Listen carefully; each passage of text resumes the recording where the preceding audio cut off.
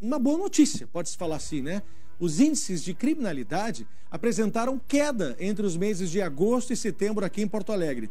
É o que mostra um levantamento da Polícia Civil que realizou esses dados, levantou esses dados a pedido do SBTRS.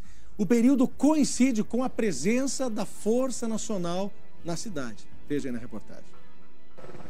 Eles chegaram ao Rio Grande do Sul como um símbolo de combate ao crime. A presença da Força Nacional nas ruas de Porto Alegre, região metropolitana, tem um objetivo claro: resgatar a sensação de segurança à população.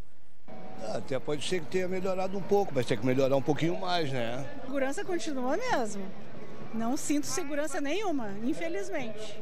No início até a gente enxergava alguma coisa da segurança nacional, da Força de Segurança, mas atualmente não. O aumento dos casos de latrocínio e a troca de comando na Secretaria de Segurança pressionaram o governo a pedir ajuda da Força Nacional. Alternativa que José Ivo Sartori descartou durante mais de um ano e meio à frente do Palácio Piratini.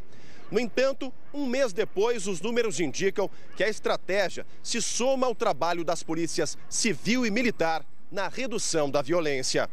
As estatísticas da Secretaria de Segurança apontam uma redução nos homicídios de quase 15%. Foram 53 casos em agosto contra 44 em setembro, o primeiro mês de atuação da Força Nacional. O roubo e o furto de veículos recuaram na mesma proporção.